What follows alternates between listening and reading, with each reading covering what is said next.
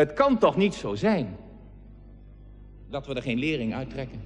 En sterker dan dat, moet het niet zo zijn dat we iets verplicht zijn aan degenen die van ons weggenomen zijn. Tenminste verplicht aan hen om elkaar te steunen. Deze dagen, maar ook daarna.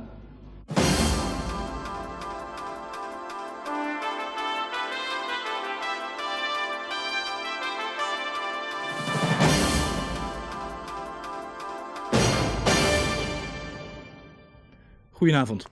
Morgen dient bij de rechtbank in Den Haag een hoger beroep van nabestaanden van de SLM-ramp.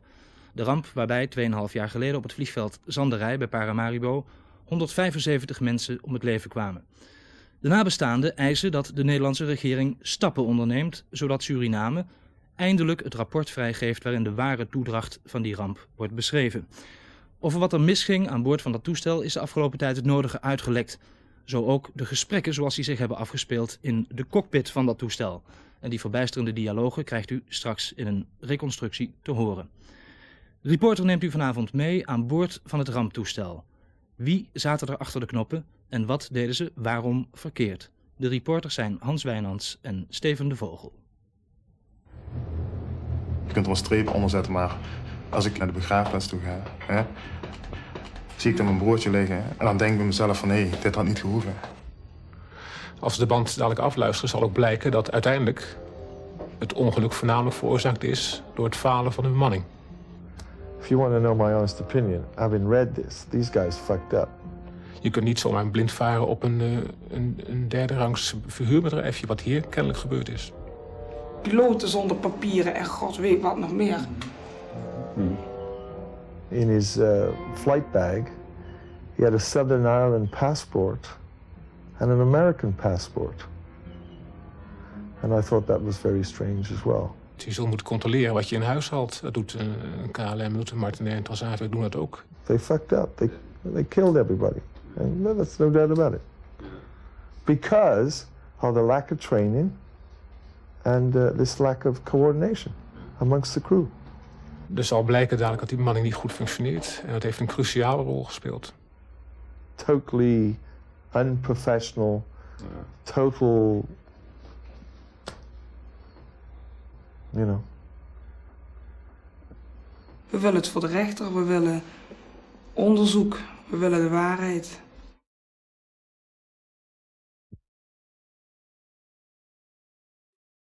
In de morgen van 7 juni 1989 om half vijf verongelukte de DC-8 Anthony Nasty van de SLM op 1700 meter vanaf de landingsbaan van het vliegveld Sanderij in Suriname.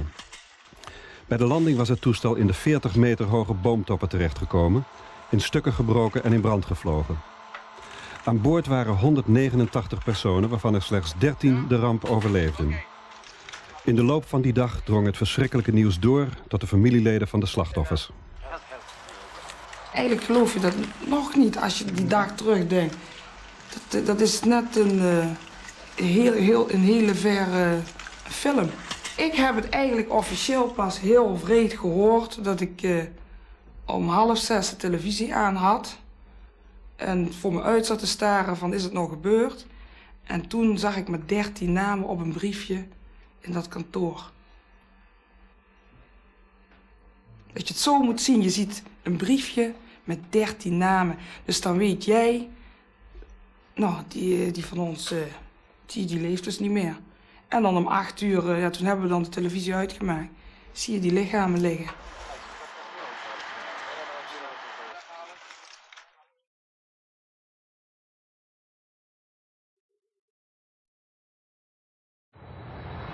Dinsdagavond 6 juni, even voor middernacht, vertrekt het toestel met meer dan vier uur vertraging vanuit Amsterdam. Die vertraging had het toestel opgelopen in Miami, waar een van de brandstofmeters gerepareerd was. De bemanning besluit geen tussenstop te maken in Lissabon of op de Azoren om extra brandstof te tanken, maar rechtstreeks door te vliegen naar Paramaribo. Ze zullen daar in de vroege morgen aankomen op een tijdstip dat er zich rond luchthaven Zanderij vaak mistbanken vormen. Belangrijke aanwijzingen over de gebeurtenissen in de laatste minuten vinden we op de band uit de zwarte doos die de gesprekken in de cockpit registreerde. Which radio you on? 764 Paramaribo. Is that 83 miles out of Paramaribo? Yeah. Okay. Estimating Zandere at 30. Suriname 764 Paramaribo. We hebben echt geaarzeld om mee te werken aan dit eh, programma. Want deze banden uit de cockpit zijn bedoeld om te leren. ongelukken te voorkomen, oorzaken te achterhalen. Zijn niet bedoeld om schuld uit te delen. Ook niet bedoeld om in de pers te raken en de publiciteit in te gaan. Eh, dat is bij deze band wel gebeurd. Maar achter dit verhaal zit veel meer. En dat maakt dat wij zeggen, ja, hier moeten we toch aan meewerken. Suriname 764 Paramaribo. Go ahead. Okay. Wind calm. Visibility 900 meters. What happened to that uh, 6,000 or 6 kilometers that you had before? Say again. Uh, what happened to that 6 kilometers you had before? That was the weather for the 0600 Sur. 900 meters. Suriname is Ze gaan zich nu afvragen, wat moeten we nu gaan doen? Want dit zicht is te weinig om met de beschikbare hulpmiddelen in Paramaribo te kunnen landen. Maar het kan nog wat beter worden. Dus afhankelijk van de hoeveelheid brandstof aan boord... kan je besluiten, nou, we gaan door. We wachten een weersverbetering af. eh, en, of we wachten het niet af en we gaan eh, uitwijken naar onze uitwijkhaven. In dit geval was het Rochambeau. Uh, Rochambeau, Suriname 764, over. Suriname 764. Go ahead, sir. Okay, sir. Uh, what's the weather uh, in case we have to come over there? Uh, the weather in Suriname is marginal. And what's is your present weather over the Raj, okay? Eh, ze proberen contact te krijgen met uh, Rochambeau, Ja. met eh, Guyana, maar dat lukt niet. Ja, ze krijgen ze wel. Maar voor ze het weer kunnen krijgen, verliezen ze dat contact. Dat komt dat ze aan het dalen zijn, dan wordt de, de rijkwijde van de radio's wordt minder. En, en eh, de gezagvoerder, die is daar wat, wat makkelijk over eh, wat voor plan ze hebben om daar te gaan landen. Hè? Het zicht bij Zanderij is 900 meter. En zonder een goed idee welke uitwijkmogelijkheden er zijn... vliegt de DC-8 met aan boord 189 mensen... in de richting van de mistbanken rond vliegveld Zanderij. Onder deze omstandigheden kun je alleen veilig landen... als je gebruik maakt van het zogenaamde Instrument Landing System, het ILS. Yeah, that's okay. We uh, we need 800 meters and an ILS. Okay, we got it. Uh, we only need an ILS. Huh? We only need to have an ILS. We have to use it. That's right. I have to go down. Yeah. Wat is dat, een ILS? Ja, dat is een systeem wat eh, signalen uitst- uitstuurt... die het vliegtuig naar de baan kunnen geleiden. Twee signalen. Een, een koerslijn naar de baan toe... en een, een dalingslijn ook naar de baan toe. En die twee worden in de cockpit gepresenteerd op een wijzertje. Een koerslijn en een, een hoogtelijn. Als je die twee keurig in het midden houdt... dan kom je op de goede hoogte voor de baan uit. Dat ding werkte, maar was niet operationeel. Ja, eh, zo'n ding moet regelmatig gecontroleerd worden of die hem nog goed aanwijst. Dat gaat met een speciaal meetvliegtuig. En dat kost eh, nogal wat geld. Dat was vermoedelijk niet voorhanden. Dus die was over de tijd heen dat die gecontroleerd moest worden. En dan mag je hem niet operationeel gebruiken. Suriname 764 morning. 40 and expected VORDME. Approach runway 10.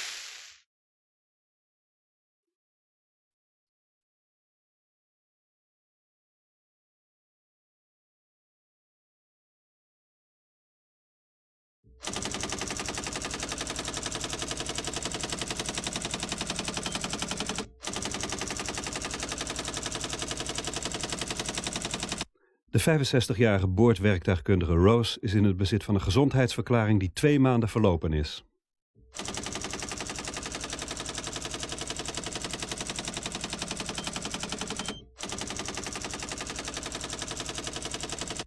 Gezagvoerder Rogers had met zijn 66 jaar nooit mogen vliegen. Volgens het internationale luchtvaartverdrag van de Verenigde Naties mag een gezagvoerder in de burgerluchtvaart nooit ouder zijn dan 60 jaar. Maar de SLM controleerde niets. In 1988 deed hij zijn verplichte periodieke vliegtest in een vierpersoons toestel, de Grumman Cougar. 1700 kilo zwaar. Hij werd goedgekeurd, maar de examinator wist niet dat Rogers het keuringsbewijs gebruikte om als gezagvoerder op een 77.000 kilo zware DC-8 te vliegen. De SLM controleerde niets.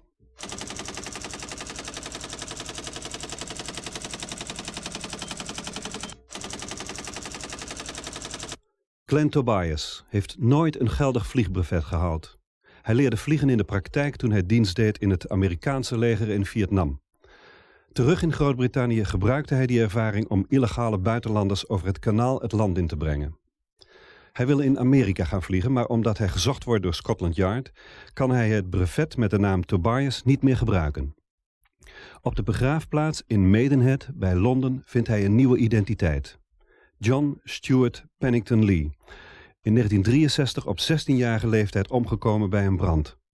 Hij haalt een geboortebewijs op bij het gemeentehuis en stuurt dat samen met zijn Britse vliegbrevet naar de Amerikaanse luchtvaartdienst. Vanaf dat moment is hij in het bezit van een Amerikaans brevet onder de naam John Stuart Pennington Lee. De Amerikaanse luchtvaartdienst controleert niets. Tot zijn dood in 1989 zal Tobias nog zes keer zijn naam, nationaliteit en geboortedatum veranderen. De laatste jaren gaat hij door het leven als Glenn Tobias, Amerikaan, geboren in Texas in 1954, negen jaar later dan de werkelijkheid. Wat voor een man was die eerste officier en waarom veranderde hij voortdurend zijn identiteit? In Miami woont zijn vriend en oud-collega Ray Kinsey, net als Tobias, piloot op een DC-8. Tobias woonde enige tijd bij Ray en na zijn vertrek bleef Ray's huis Tobias' postadres. The ironic thing about it was that that we'd met prior to this. He called here because his mail came here to pick up his mail, and uh, he was telling me that this was going to be his last trip, and he was going to come over to my company and fly with me there. But this was uh, his last trip. That was his last trip, yeah, unfortunately. I was looking through through uh, some of the things that he has here, and it says, "You're, uh, I want to be alive when I die," and uh, that's strange. It would seem that he was a man that was running away from something, never had a, a permanent address, and then it, other things like uh, in his uh, flight bag, he had a Southern Ireland passport and an American passport. And I thought that was very strange as well. Did some strange things, uh, like we have, uh, he had keys for the front door of the house and always came around the back of the house and came through here. That would only be because if we were here, but he would never go to the front door and open the front door, uh, although he had keys. I felt that very strange as well. Did he uh, talk about his past? He was very reluctant. Um, two two things that came out of conversation that comes to mind. Um, he sympathised with the uh, the IRA in Southern Ireland. Um, he didn't exactly uh, put the English down, but he, he certainly sympathised with the IRA. And uh, he said that he worked in Vietnam uh, for special forces behind enemy lines.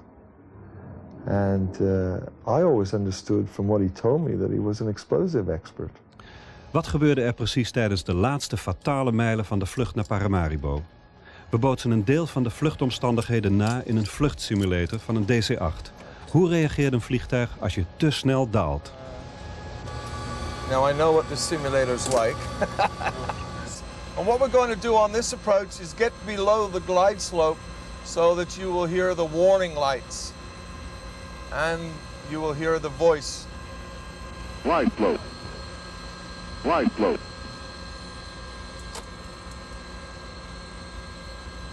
And that's the sort of indication you would get if you were getting too low on an approach.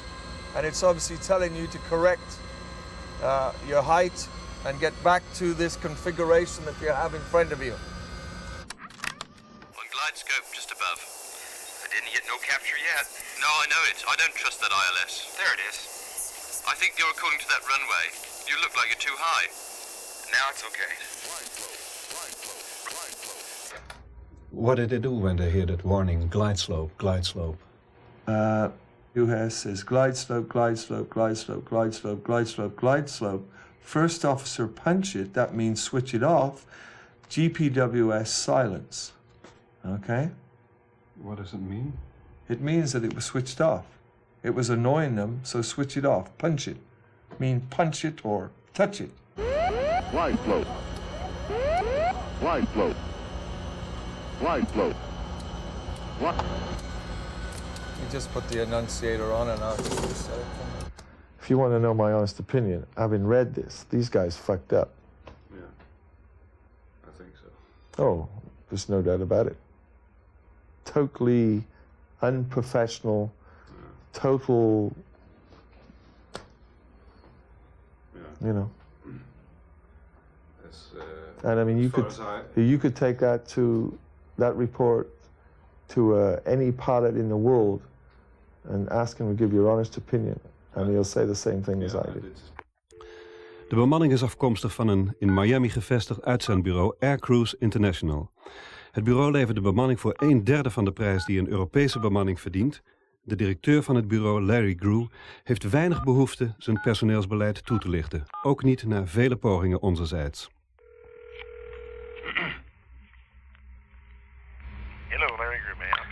Hello, this is uh, Hans Wijnands, uh, Dutch Television. Uh, we're here in uh, Miami to do a report about uh, the SLM uh, case. Uh, could we come over to talk with you about that? Next week, but uh, because I'm in a meeting right now and I'm not going to be available before then. Ah, yes. Uh, we want to talk about uh, the crew that uh, was in the SLM uh, crash. I'd have to talk to my lawyer. He's got all the papers. I, I, I'd have to talk to him. Call me. I am extremely busy. Call me back Monday or Tuesday. De verantwoordelijkheid voor de bemanning ligt natuurlijk bij de operator, bij de luchtvaartmaatschappij. En als die ze zelf niet heeft en ze moet huren, dat kan, dat gebeurt in Nederland ook. Maar dan blijf je verantwoordelijk voor de kwaliteit. Je zult moeten controleren wat je in huis haalt. Dat doet een, KLM, doet een Martinair en Transavia doen dat ook. Die mensen die ze inhuren, worden gecontroleerd. Die gaan de simulator in. En pas als ze voldoen aan dezelfde standaard als de andere vliegers, de reguliere vliegers, dan worden ze gebruikt. Je kunt niet zomaar blind varen op een, eh, een, een derde rangs verhuurbedrijfje, wat hier kennelijk gebeurd is.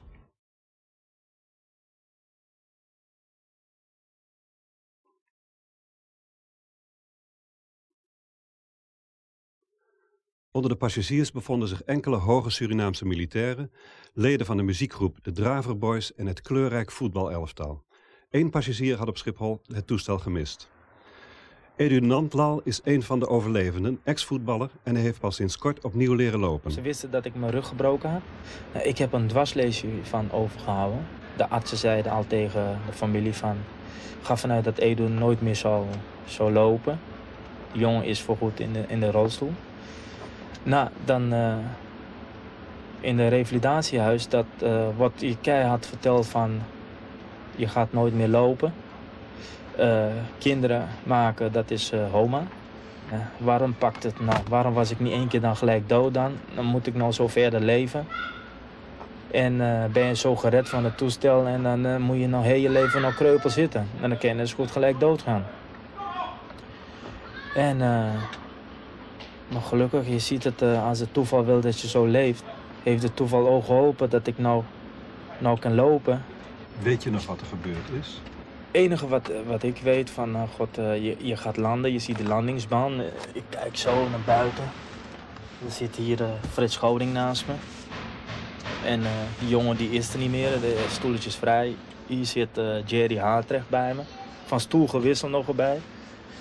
Hij zit normaal gewoon hier zo. Ik had helemaal geen veiligheidsgordel. Nou, ik leun er zo over, kijk naar buiten. Oh, landingsbaan, terwijl kijk zo achterom. Iedereen slaapt en eh, kuchen en eh, ik verheug me zo. En ja, dat, dat, vind ik het vervelende als je zo van stoel wisselt. Dat heb je zo'n bepaalde schuldgevoelens.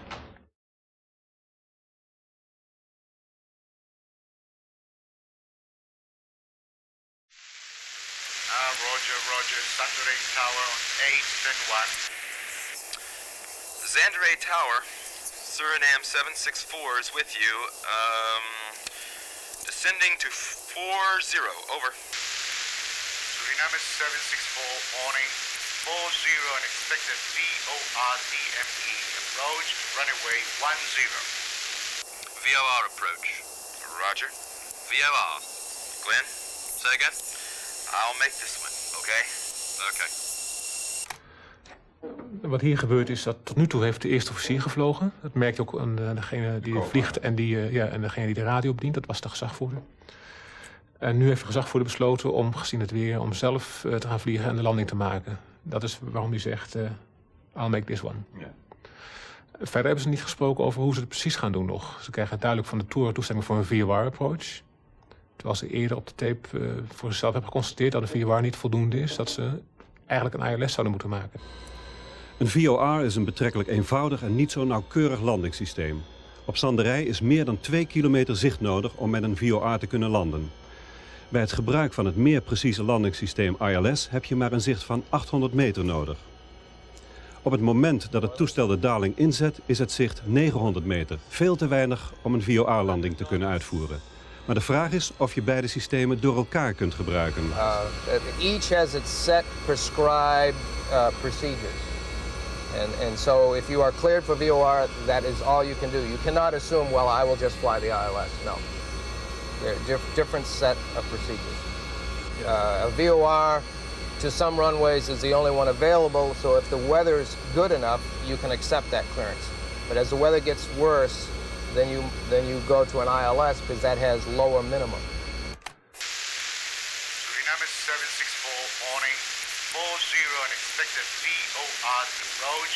Runway 10.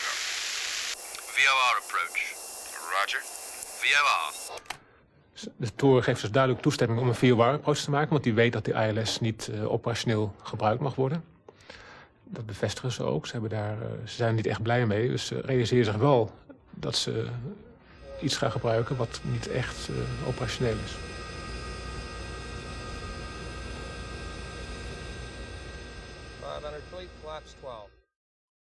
De Anthony Nesty van de SLM was afkomstig uit de failliete boedel van de Amerikaanse chartermaatschappij Arrow Air. Deze maatschappij had een buitengewoon slechte reputatie op het gebied van onderhoud.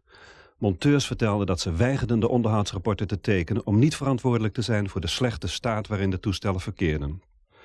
Kort voor de SLM het toestel van Arrow Air kocht, was de maatschappij nog beboet door de Amerikaanse luchtvaartdienst wegens nalatig onderhoud. Ja, dat is natuurlijk eh, een probleem als je een klein land hebt. Je wilt toch grote luchtvaartbedrijven. Dat past niet goed bij elkaar. Dat kan je alleen goed doen als je dan meelift met een ander bedrijf... wat wel de capaciteit in huis heeft om die hele achtergrond van maatregelen... nodig om veiligheid in stand te houden, te bekostigen. Dat heeft ook eh, Suriname heel lang gedaan. Om allerlei redenen is er behoefte aan een eigen luchtvaartmaatschappij. Nou, dat moet je respecteren, denk ik. En dat hebben ze op een goede manier ingekleed in de samenwerking met de KLM. De KLM zorgde voor de achtergrond, voor training, voor de vliegtuigen. En ja, met eh, de politieke problemen en alle toestanden is die relatie helemaal op straat gegaan. Het heeft ertoe geleid dat men het zelf is gaan doen en daarbij eh, alleen gekeken heeft naar directe zaken en directe kosten. En geen oog gehad voor alle eh, bijkomende dingen die ook nodig zijn om een veilige operatie mogelijk te maken.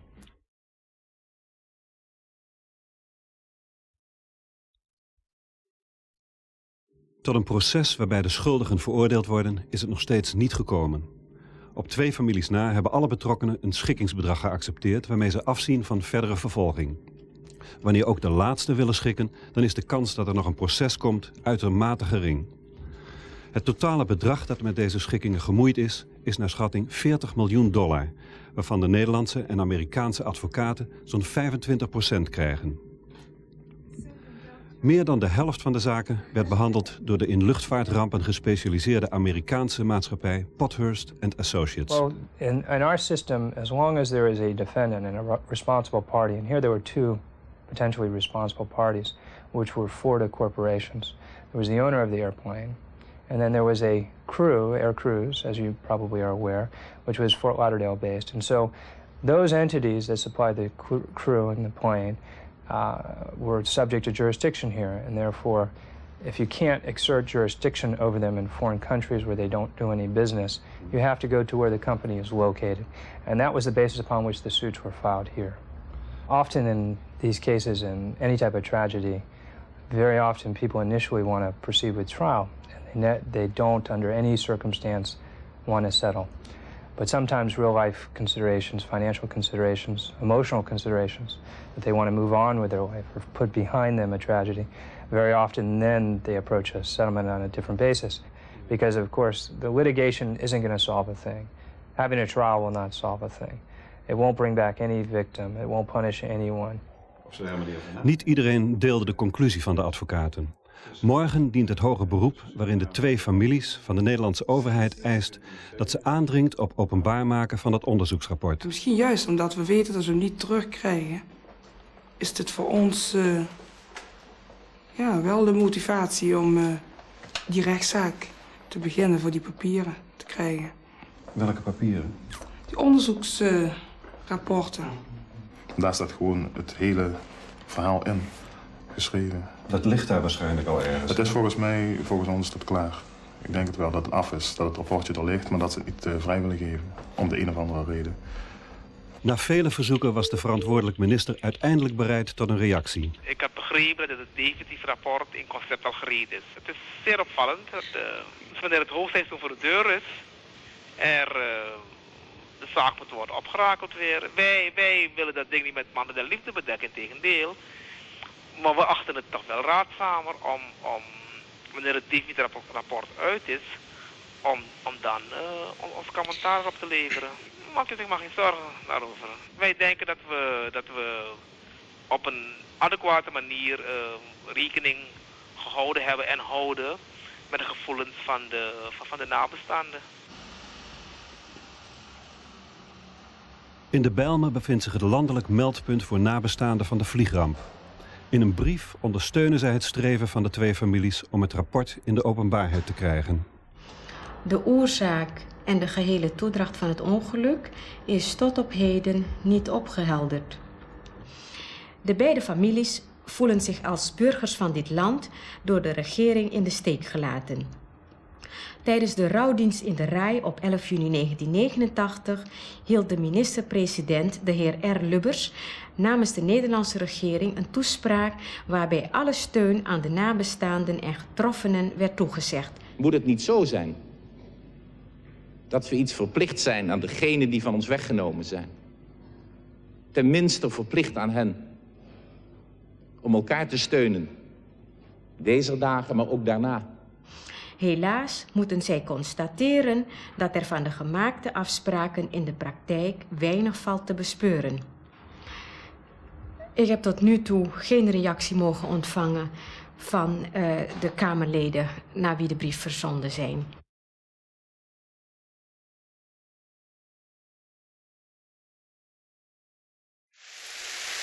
Suriname 764. Rain is calm.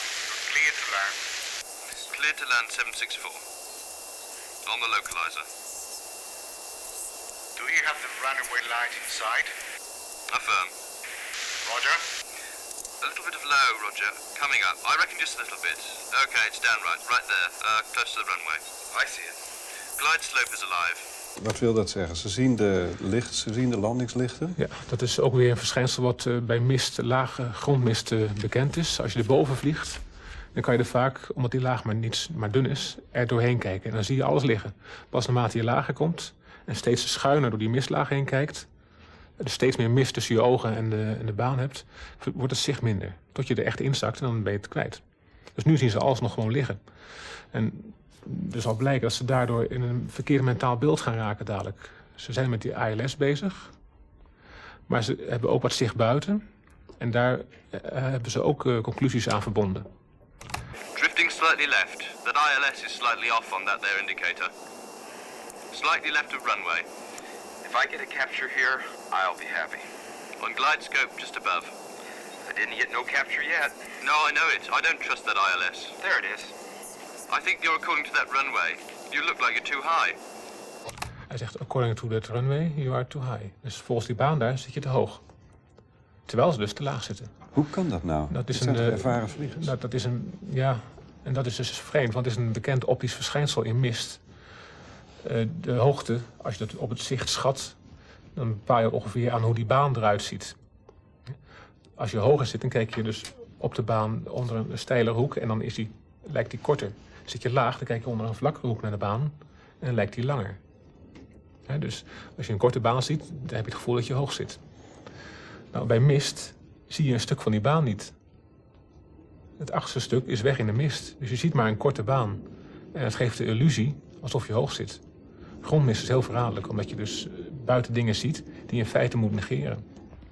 The situation there is uh, a good example of the lack of uh, cockpit resources management training. That's right. Uh, the lack of uh, communication, if you like. One should be flying the airplane, the other one should be monitoring an approach. Um, an ILS is an ILS no matter where you do it. And uh, I'm looking at that profile there, and uh, they never did get established on the profile. No. They stayed constantly under the glide slope. Yeah. And uh, I mean, any any person that's uh, learning to fly instruments uh, back to basics on the ILS uh, should be able to know where he is in relation to the Yeah. glide slope and the localizer. Mhm. You know. Yeah. If you want to know my honest opinion, having read this, these guys fucked up. Yeah. I think so. Oh, there's no doubt about it. Totally unprofessional, total, you know. Uh, would you put the runway lights up, please? How is that? Tell him to put the runway lights bright. Uh, please put the runway lights bright. Right. 300 feet. Okay, MDA. I'll level it out here. Right here. MDA, dat is de minimum descent altitude, de limiet tot waar je veilig mag zakken. Overigens is dit de limiet die hoort bij de ILS approach. Dus ze zitten al lager dan ze hadden mogen zitten. Maar 300 voet, het is laag vlak terrein daar. Op zich hoeft er dan nog niks aan de hand te zijn. Als je op 300 voet Als je op 300 voet blijft. Het is niet goed, eh, maar het kan goed aflopen. We hebben net gezien toen hij op 2000 voet moest zitten... dat hij dat niet kon. Hij- Hij zakte daar doorheen. En we zullen nu zien dat hij ook niet op eh, 300 voet kan blijven zitten. Een reeks van nalatigheden vormt de oorzaak van de ramp. Het toestel had bij een zicht van 900 meter nooit mogen landen. De bemanning wist dat het noodzakelijke ILS-landingssysteem onbetrouwbaar was en niet gebruikt mocht worden. Toen het systeem uiteindelijk toch waarschuwde, werd dat door de bemanning genegeerd. Die bemanning was te oud, had verlopen of vervalste papieren, had niet de juiste opleiding en handelde onzeker en onvoorzichtig. De gezagvoerder had zijn periodieke test op een licht vierpersoons toestel gedaan en gebruikte dat op een zware DC-8.